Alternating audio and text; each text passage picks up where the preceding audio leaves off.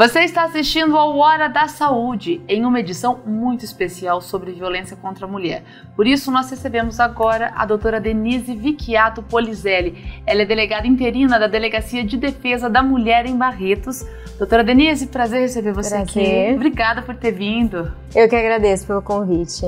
Prazer imenso. Doutor Marcelo Gobo continua com a gente, doutor Marcelo Gobo Júnior. Sempre um prazer, Glaucio. Então a gente vai lá, nós estamos falando sobre violência da mulher, um problema para a saúde pública. Doutora Denise, a gente começa com você, porque mesmo sendo referência no mundo com a Lei Maria da Penha, o Brasil possui números tão altos. Primeiro que a gente tem que avaliar questões sociais, culturais, a gente não, não tem como dissociar.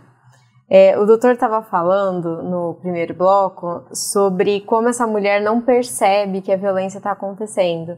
E o motivo dela não perceber que a violência está acontecendo é porque é tão natural na nossa cultura que a gente normaliza de tal forma que você se sente mal com aquelas colocações, mas você não está entendendo que aquilo é uma violência e nem por que, que você está se sentindo mal. Então, muitas vezes, quando a mulher chega lá no DDM, aquilo já extrapolou e muito é, o normal, vamos dizer assim. Então, por que, que os números continuam altos? Porque a gente não debate qual é a origem dessa violência. A gente acha que isso é questão, muitas vezes é colocado assim, ah, é assunto de feminazi, porque você é feminista, é por isso que você está falando de, desse tipo de situação, desse tipo de, de discussão, por que, que você está. O lugar de mulher é onde? Sempre colocando como se a mulher tivesse um lugar. Quando você delimita qual é o âmbito para uma pessoa existi existir, por que, que a mulher tem um âmbito de existência dentro da sociedade, um papel, e o homem não tem?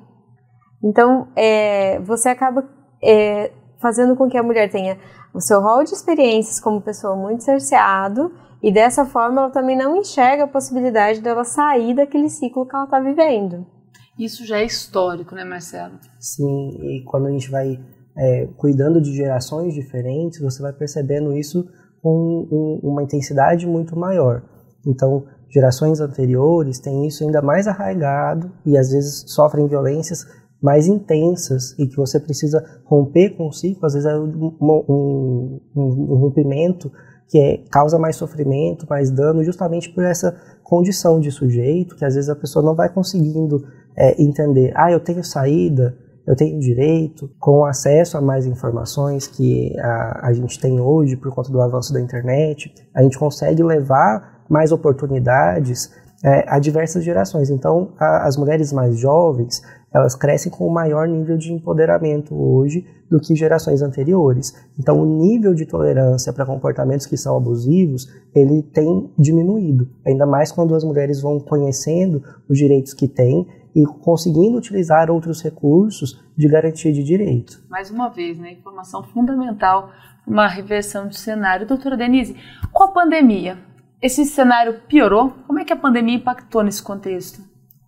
É, com a pandemia piorou. Nós podemos falar de diversos aspectos. Primeiro, que as pessoas ficam mais em casa, então elas conversam menos sobre a realidade que elas estão vivendo e assim a reflexão sobre o que é violência e o que não é, ela acaba ficando mais abafada. Então muitas vezes você percebe pelo diálogo que a situação é, de abusividade, porque tem a questão do relacionamento abusivo que é quando existe uma animosidade no tratamento, mas ainda não tem uma agressão, e, e depois o relacionamento que já entra na agressão. Então já tem uma abusividade faz tempo e ela sequer se deu conta disso, indicando já uma possível agressão. E a outra questão é que a mulher muitas vezes não se vê com oportunidades para fazer um registro de ocorrência ou procurar ajuda sem que o agressor saiba que isso vai acontecer. E ele, sabendo que isso vai acontecer, então, ele, se você chamar a polícia, você vai ver o que vai acontecer. Aí que eu vou te bater mesmo. Então, ficam muito essas ameaças e esse controle psicológico sobre a vítima faz com que ela fique ainda mais sujeita a essas violências e mais temerosa.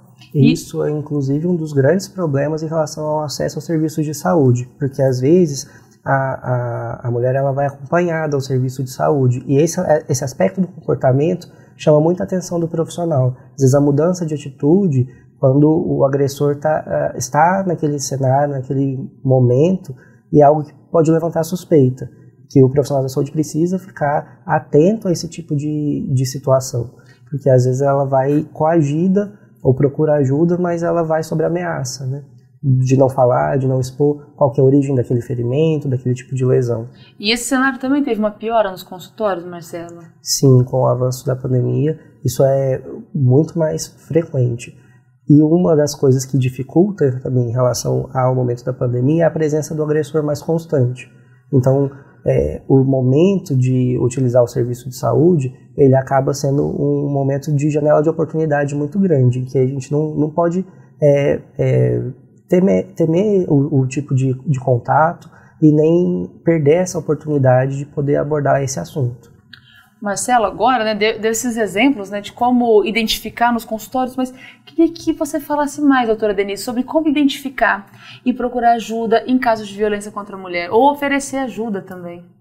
É, a situação mais complexa que a gente vive hoje é como oferecer a ajuda sem que a vítima se volte contra aquele que oferece essa ajuda. É verdade. Porque, por vezes, a vítima julga que ela não precisa de ajuda, ou ela acha que ele realmente vai mudar, vai melhorar. Então, ela dá muitas chances, e aí, diante da prestação do nosso serviço, ela acaba é, ficando muitas vezes chateada com a gente, não quer mais receber nenhum tipo de ligação, só que o inquérito não terminou, o processo não terminou. É, a gente precisa muitas vezes saber qual foi o andamento daquilo, se ela tá bem, se ela não tá, e você percebe essa resistência é, depois, no, no, no pós-registro. É, então, é muito difícil você saber a melhor forma de abordar cada pessoa, porque cada pessoa é única. Então, a gente oferece, a gente explica quais são os serviços. Então, a partir do momento que a gente registra uma ocorrência, é, a, depende do tipo de ocorrência, a gente precisa fazer um exame é, de ML, um exame médico, um exame de corpo de delito, para provar que existem as lesões. É, normalmente, a vítima sai da delegacia e vai fazer esse exame ou vai no dia seguinte. Se é para o dia seguinte, a maior parte já não faz mais. Então, nós já temos um, um déficit bem grande de vítimas que elas desistem só de um dia para o outro. Elas, é, a gente tem um número muito grande de vítimas que de é, após uma semana de pedido de medida protetiva, elas vão até a delegacia pedindo a revogação porque elas reataram o relacionamento. Então, na verdade, a minha maior preocupação hoje não é a denúncia, é como que a gente pode impedir essa mulher de reatar, ou se for reatar, reatar de forma consciente, para que os dois, de alguma forma, passem por um acompanhamento, um, que faça com que eles melhorem como pessoa, porque eu falo sempre a mesma frase, e eu não canso de falar essa frase porque eu acho que ela ilustra muito bem. Se você vai fazer uma receita de um bolo, você com a receita do bolo de chocolate não chega no bolo de cenoura. Se você está seguindo um relacionamento, a mesma receita desse relacionamento antes da ocorrência vai ser a mesma pós-ocorrência. Então, se teve violência, não é só ali na boca, sem um tratamento, sem um acompanhamento, que de repente todo mundo vai mudar, que a estrutura e a dinâmica familiar vai se alterar. Então, vai continuar acontecendo o bolo de chocolate. E um bom exemplo. Então, o, o, o, a gente precisa criminalizar tudo? Eu não tenho essa pretensão. Muito pelo contrário, o importante é a gente alcançar uma resolutividade para a vítima, para aquela família, e não um número de inquérito de ocorrência para mim. Isso para mim é irrelevante. Mas como que eu faço para essa vítima não voltar para mim? de forma que ela seja atendida é, pela saúde, pela saúde mental, é, e que ela consiga sair do ciclo da violência doméstica. Porque a violência contra a mulher, ela vai muito além da violência física, né, Marcela? Sim. Tem a questão psicológica, mental, tudo isso, e que muitas vezes é responsável pela mulher agir dessa maneira. Patrimonial e envolve todo um aspecto também cultural e social que é reforçador do padrão da violência, né? E isso é o que torna, às vezes, essa conversa muito difícil em determinados contextos e setores. Justamente porque quanto mais socialmente aceito é o comportamento violento, mais difícil é você romper com o padrão. Então, quanto mais naquela família essa questão da violência, às vezes transgeracional, é normalizada, é difícil você apresentar isso como um elemento estranho. E uma vez que você apresenta, também é difícil você retroceder.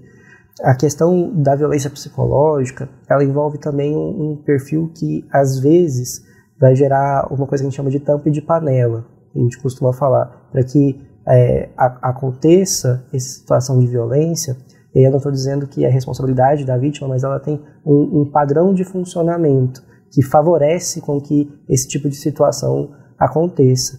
E às vezes é difícil você tomar consciência de qual papel individual você tem na manutenção daquele tipo de situação. E você fazer esse rompimento é muito difícil, justamente porque você vai gerar às vezes essa situação de nossa, mas será que eu tenho responsabilidade nesse tipo de, de situação? E aí eu não estou dizendo de utilizar um determinado tipo de roupa, eu estou falando de padrão de comportamento daquilo que eu aceito, das transgressões que o outro faz e que eu, ah, tudo bem, ah, faz parte. E isso às vezes é inconsciente, porque a gente é formado assim, né? Às vezes a gente foi educado a aceitar esse tipo de situação e aí você romper com essa normalidade é difícil. Às vezes é um trabalho longo. Doutora Denise, quando fala em padrão de comportamento, isso também existe, também é observado na delegacia? É, a gente pode falar de um padrão, mas não necessariamente um padrão muito fechado. A gente uhum. identifica a repetição de condutas é, por parte dos dois. Eu falo que você falar de responsabilidade e de culpa são coisas diferentes. A vítima não tem culpa, mas como pessoas adultas, nós temos responsabilidade por aquilo que a gente se sujeita reiteradamente é, a primeira vez, a segunda vez, mas viu que não vai mudar, o que que, se eu estou queixosa da minha situação atual, o que eu posso fazer para transformar a minha realidade? A partir daí você tem responsabilidade, se você tomou consciência. Só que o difícil é a vítima entender esse padrão e enxergar, porque é fácil você enxergar como terceiro. Quando você, vocês dois conversando, é muito mais fácil é, eu entender a dinâmica de vocês do que vocês dois compreenderem essa dinâmica, os dois fazendo parte. E é o que acontece. Então a vítima ela não consegue compreender que essa dinâmica está ruim, está viciada, e ela fica queixosa e muitas vezes ela se culpa por aquela dor que ela está sentindo, por aquele incômodo ou até pela violência que ela está experimentando porque ela acha que ela tem culpa naquilo que está acontecendo. Então, o que, que a gente pode identificar como padrão em relação às vítimas é que elas estão subjugadas, elas estão é, totalmente controladas e elas acham que aquilo está normal. E aí, de repente, tem aquele despertar, mas se ela não despertar o suficiente para sair da relação, ela volta. É igual você tá afogando. Você dá aquela respirada, se você não, não, não se é, não agarrar alguma coisa para você sair daquilo ali, o que, que vai acontecer? Você afunda de novo. E é o que a gente vê. E o que acontece? Os aspectos sociais e familiares, eles são muito preponderantes, porque é comum a gente estar ali no registro da ocorrência, ou na oitiva da vítima, ou até de alguma testemunha, é comum a gente vivenciar aquela situação, parece desenho animado. Sabe o desenho animado que fica o diabinho falando aqui? Só que o diabinho é a mãe, é a tia, é a avó.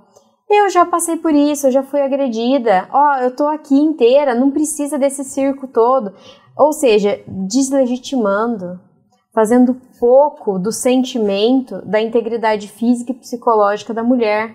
Por que, que a mulher tem que se submeter, tem que se sacrificar em prol da família e do relacionamento, não no mesmo nível que o homem?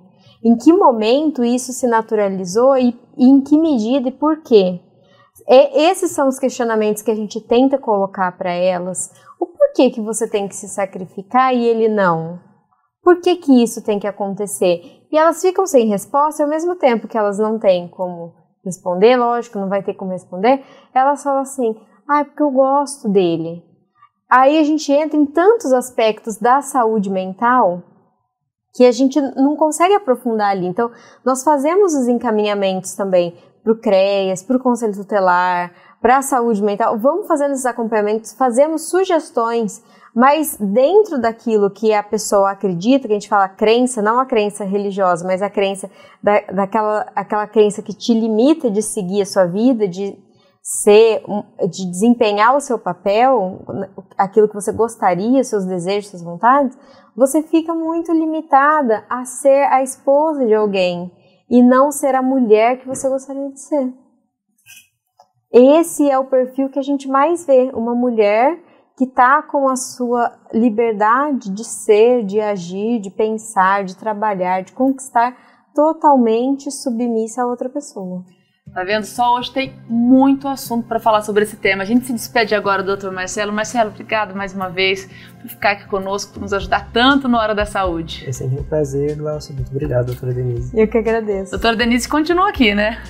E daqui a pouquinho a gente volta respondendo as principais dúvidas dos telespectadores. Fique aí, daqui a pouco tem mais Hora da Saúde.